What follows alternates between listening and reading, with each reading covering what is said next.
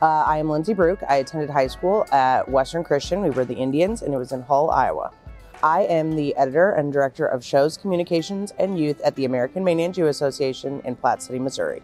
I think the most exciting part um, is that I wear a variety of hats, but I get to work with youth and teach them about different opportunities and experiences um, that have to do with either our breed of cattle or just kind of the ag industry as a whole. Uh, I really I enjoyed showing um, growing up, and then I also enjoy writing, and so that's kind of where the editor portion and then the showing portion kind of came together, and then as it sort of morphed, I've taken on a couple of different projects with the communication side. I love to communicate and I love to teach kids how to communicate as well. So the, the writing part is basically communication. So, you know, you can tell a story just like we try to tell our ag story or you try to tell your, you know, school story, whatever, you do that through writing. If you can't get there and tell somebody face to face, you can do it in an article or a press release or social media. You tell your story with video and picture and you still have to be able to communicate it can't just show some photos and it be what it is. You gotta be able to tell what it is.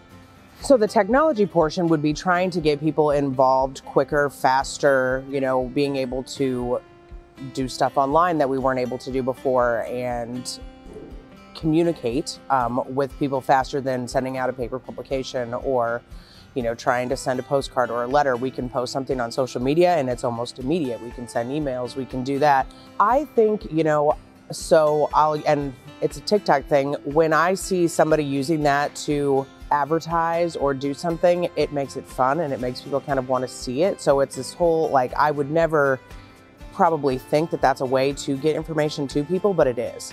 Um, and then specifically trying to get to those younger kids and maybe you do something educational where you start and you do it's like the lead up to it and but you do it in a fun little TikTok format. That's a way for us to, especially with like junior stuff, get them interested because they see it there. Even when I started in this, how far we've come on the technology side of things, I think at some point in time, we'll literally do everything on our phone. We won't even need our computers or any of that. I mean, it can be all done instantly, sent, scanned, you know, even on as far as animal ID, I think it'll get to that point. Um, so that excites me from a efficiency standpoint. And then, you know, with that, you're able to reach that many more people and then grow your program.